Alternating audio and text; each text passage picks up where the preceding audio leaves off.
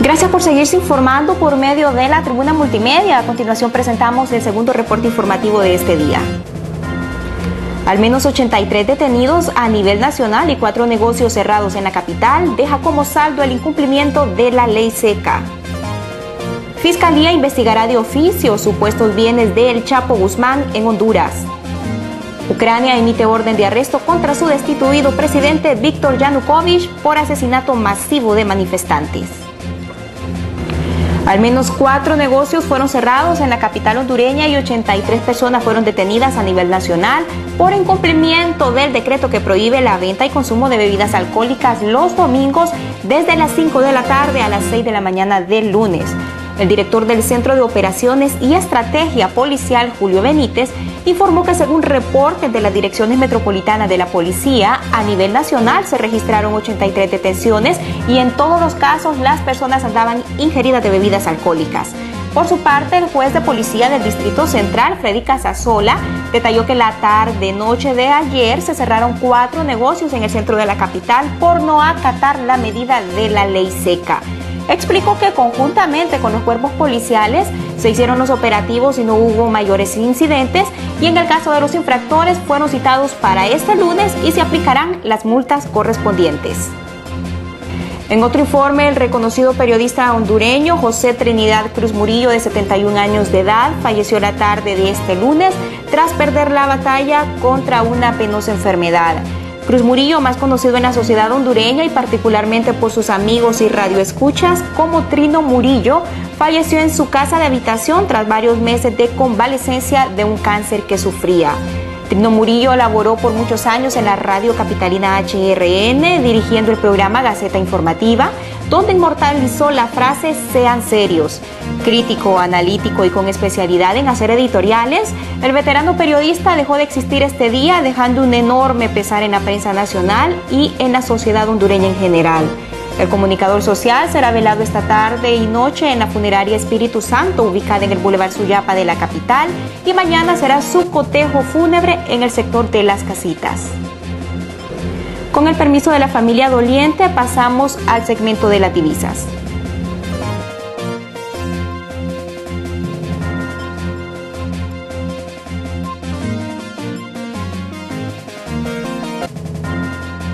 Las autoridades del Ministerio Público investigarán de oficio supuestos bienes del narcotraficante mexicano Joaquín El Chapo Guzmán en suelo hondureño, tras múltiples versiones que él se paseaba por la zona occidental del país.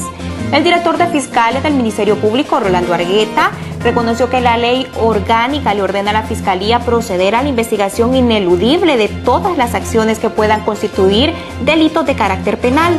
Continuó que las investigaciones incluirán temas relacionados al tráfico de drogas o delitos derivados como facilitación de locales, medios de transporte u otros como el ilícito de lavados de activos.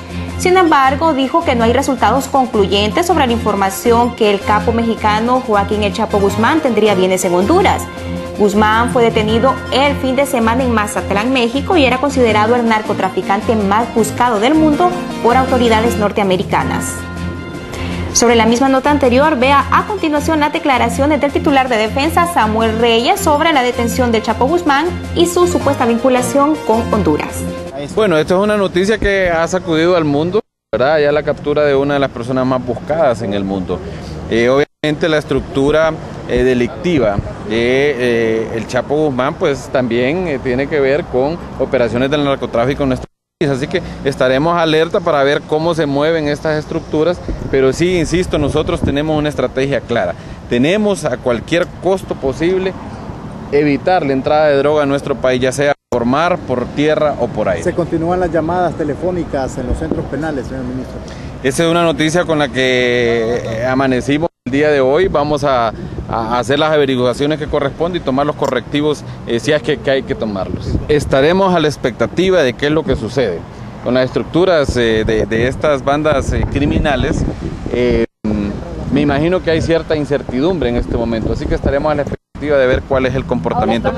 Pero insisto, nosotros eh, tenemos eh, las instrucciones del presidente de la República de hacer lo que tengamos que hacer para evitar la entrada de droga a nuestro país. El 70% de los problemas delictivos en nuestro país están vinculados al problema de la droga. La magistrada de la Corte Suprema de Justicia, Edith María López, denunció este lunes que la suspensión de jueces por parte del Consejo de la Judicatura ha provocado retraso en la aplicación de justicia porque no se nombran de forma inmediata a sus sustitutos. Siempre hemos dicho que estamos de acuerdo con la depuración. Creemos que es necesaria en todos los entes operadores de justicia, señaló la magistrada de la sala de la Corte Civil, quien urgió al Consejo de la Judicatura a nombrar a los jueces sustitutos en los casos que han derivado en suspensiones o cancelaciones. La funcionaria judicial abogó porque se respeten los derechos humanos y constitucionales de los jueces suspendidos o destituidos. Hemos quedado con ausencia de jueces, lo que nos ha afectado el curso normal del día a día. Esta situación provoca malestar de los usuarios y retardo en los expedientes. Aún así, algunos tienen términos fatales, remarcó López.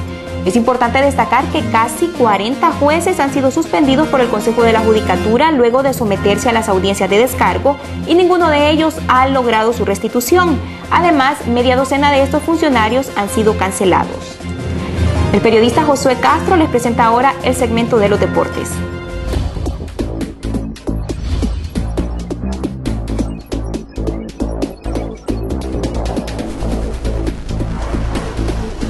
¿Cómo están amigos de la Tribuna TV? Les saluda Josué Castro. Nuestras cámaras se trasladaron al estadio de La Paz, Comayagua, que fue inaugurado en 1986 por Modesto Rodas Alvarado. Este estadio desde el 2011 con capacidad para 20 mil aficionados ahora lleva el nombre de Roberto Suazo Córdoba. Entrevistamos a un regidor quien nos explicó que en los próximos meses pretenden que este estadio sea remodelado. A continuación, la entrevista. Hay patronatos buenos y patronatos malos. El patronato se había hecho con el fin de que no fuera tocado, por ese fin. O sea, cierta familia dijo, voy a hacer un patronato, y no lo tocaba. Entonces la alcaldía vino, lo agarró, pero la alcaldía tampoco le ha metido un 5. Pero este año sí, gracias a Dios, eh, tenemos una buena corporación municipal y ya se comenzó con un proyecto que se llama Mejoras del Estadio, en el cual consiste en gestionar más de mil bolsas de cemento más eh, volquetas de grabón, volquetas de grava, arena, agua, albañiles del pueblo que van a trabajar a honoren por el bien del pueblo. La verdad que si esto hubiera pensado en otros regidores o en otra corporación comenzar, hace tiempo ya lo tuviéramos bonito nosotros mismos los paseños. Pero no se le cruzaba por la cabeza a ningún eh, alcalde o regidor trabajar por el bien del pueblo que es ese diamante en bruto que tenemos nosotros, porque es un diamante en bruto. Si ese estadio usted lo mirara pintadito, pavimentado, con grama linda y todo, aquí vinieron limpia, Motagua, y fueran entradones. La verdad que el estadio de la, eh, de la Municipal de La Paz antes era de un patronato. Se llamaba Modesto Rodas Alvarado, pero por acuerdo de decreto en la Gaceta ya salió. Ahora es municipal y se llama Doctor Roberto Suazo Córdoba. Eh, tenemos un, pero planes lindos para el estadio, porque la verdad que ha sido olvidado por todas las alcaldías y gobiernos centrales que han pasado a nivel de tantos años desde que lo construyó el doctor Roberto de Córdoba, ese estadio no se le ha metido ni un 5 siquiera por parte del gobierno o alcaldía municipal. ¿En qué año fue construido? Mm, creo que ese estadio tiene aproximadamente más de, un, suponer, más de 20 y pico de años, aproximadamente unos 25 años, y no han hecho nada más. ¿Y para cuánto tiene capacidad? Para 20 mil personas, pero sentaditas como debe ser, ya así como le meten a los estadios,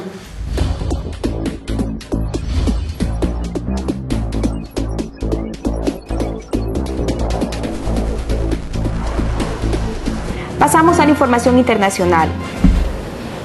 Mientras en las calles de Kiev se rinde tributo a los manifestantes que murieron en los últimos días, un nuevo gobierno comienza a formarse en Ucrania.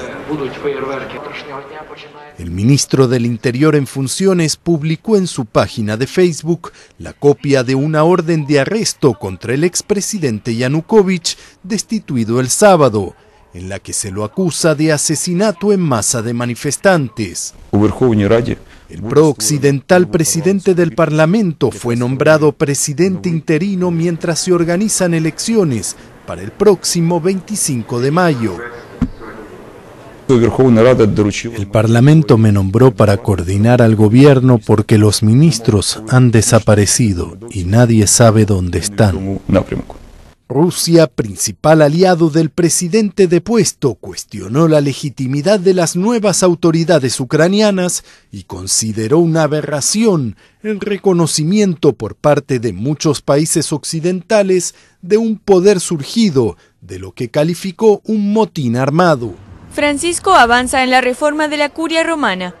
El Papa anunció este lunes la creación de un Ministerio de Economía para coordinar la gestión financiera y administrativa del Vaticano. Se trata de la primera medida importante del pontífice argentino para reformar la curia romana tras una serie de escándalos e intrigas en torno a las finanzas de la Santa Sede. El ministerio estará a cargo del cardenal australiano George Pell, arzobispo de Australia, uno de los purpurados que asesora a Francisco en la reforma del gobierno de la Iglesia. Según informó el Vaticano, la nueva Secretaría de Economía contará con 15 miembros, 8 prelados y 7 laicos, de varias nacionalidades y renombrados expertos en finanzas. La reforma de la controvertida gestión de las finanzas del Vaticano es uno de los mayores desafíos para el Papa. El Instituto de Obras para la Religión, mejor conocido como el Banco del Vaticano, ha estado en tela de juicio por blanqueo de dinero, intrigas internas y tráfico de influencias, Ahora quedará a cargo del nuevo ministerio, pero no desaparecerá, como pedían algunos sectores católicos. Esto fue La Tribuna Multimedia. Gracias por haberse informado con nosotros.